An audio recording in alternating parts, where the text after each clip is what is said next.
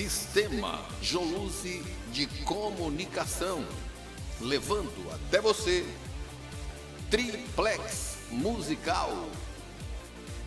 Em destaque, a partir de agora, Flavinho, Edson Júnior e André Ricardo.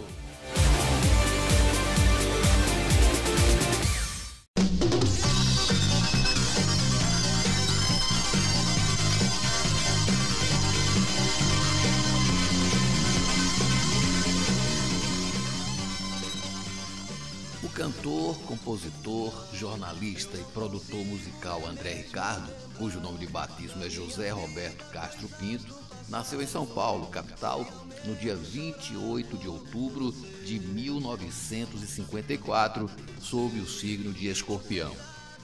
Iniciou sua carreira aos 11 anos, quando pela primeira vez subiu ao palco fazendo uma dublagem de Help, um dos grandes sucessos dos Beatles, e cantando Quero que vá tudo pro inferno, o hit em destaque de Roberto Carlos na época.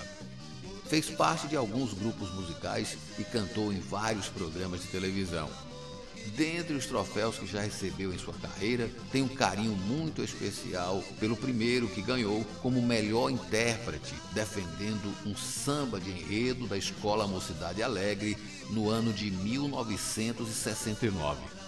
No mesmo ano, teve sua primeira aparição em televisão no quadro infantil do programa Clube do Bolinha, na extinta TV Excelsior, Canal 9, na capital paulistana. Em 1973, apresentado ao comunicador Eli Correia, passou a fazer parte da sua caravana de shows.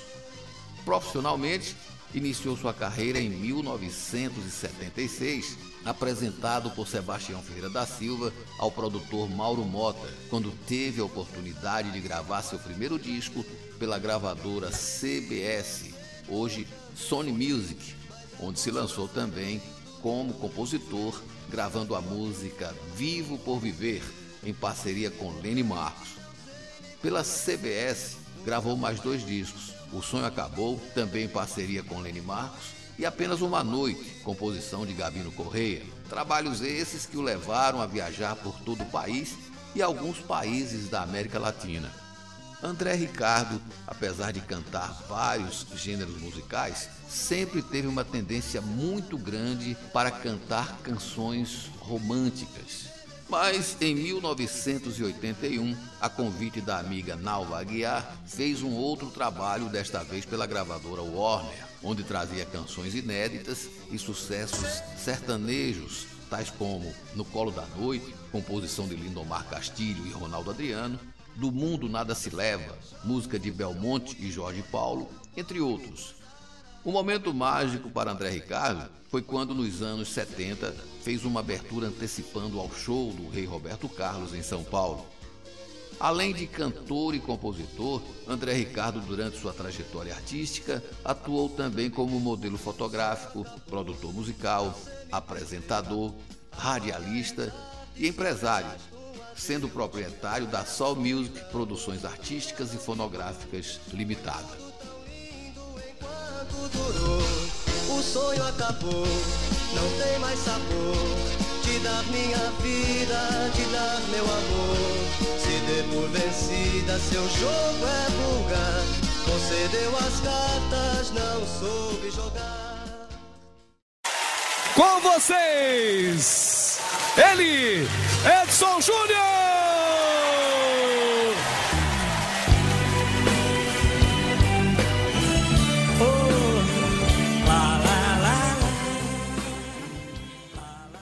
Edson Júnior é um cantor e compositor cearense radicado atualmente em São Paulo.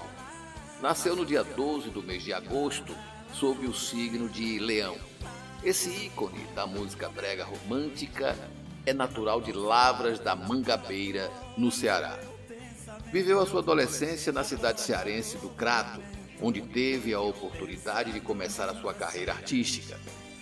Gravou seu primeiro disco, um compacto duplo, na gravadora Unison, em São Paulo. Durante a nossa conversa por telefone, ele falou sobre um fato interessante que marcou sua carreira. Participar do primeiro DVD brega do Brasil com a música Perdido em Pensamentos de sua autoria em parceria com Rosângela Dias.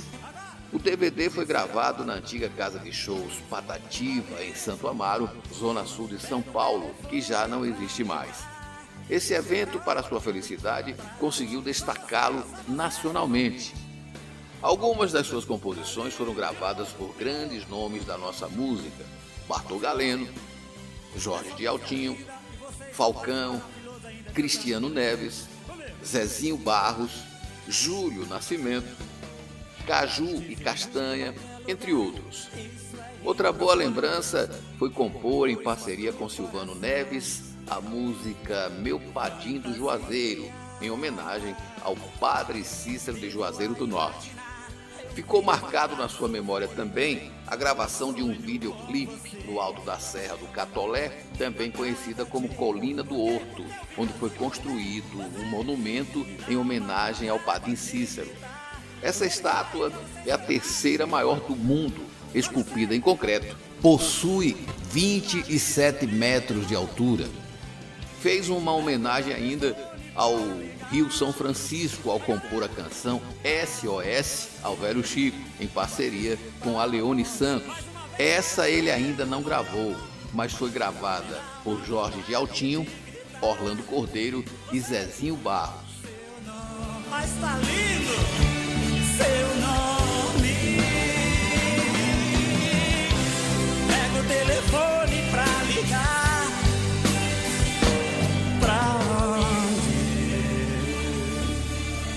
Que pena que acabou, né?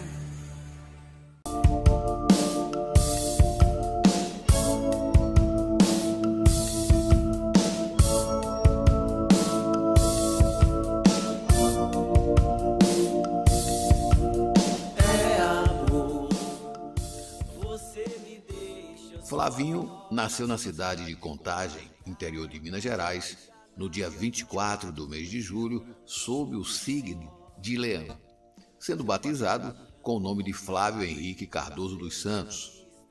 Começou a tocar violão e guitarra aos 12 anos, sem ter interesse em soltar a voz. Somente depois que começou a compor, resolveu cantar suas próprias composições. Então, foi nascendo o gosto pelo canto. Aos 18 anos, fez a sua estreia como cantor solo em um barzinho na capital mineira e deu sequência à sua carreira musical em diversos outros bares em Belo Horizonte. Gravou pela primeira vez em 1999 como integrante da banda Filhos de Cabral e esporadicamente ainda se reúnem para fazer shows. Na Raça foi o título do seu primeiro disco. Em 2008, gravou o disco Valete 7 com a banda do mesmo nome. Em 2017, passou a gravar com o nome de Flavinho Cardoso, integrando a banda Valetes Modernos. Adultério foi o título escolhido para o disco. Em 2019, lançou o segundo disco, Tempo, Tempo, Tempo, com essa nova banda. No final do ano passado, gravou o disco Transbordando Love, que vai ser lançado nesse mês de fevereiro com a participação de Levinho dos Santinho. As duas já lançadas antecipadamente, Amor de Groselha e Lá no Fim do Céu Começa o Mar. E duas inéditas, Odeio Amar Você e Tango Moderno. O curioso foi que Flavinho começou a cantar músicas no estilo brega depois de uma conversa com o hoje saudoso Reginaldo Rossi. Tiveram um bate-papo rápido mas foi o suficiente para mudar a sua tendência musical. De repente, e nunca mais voltou.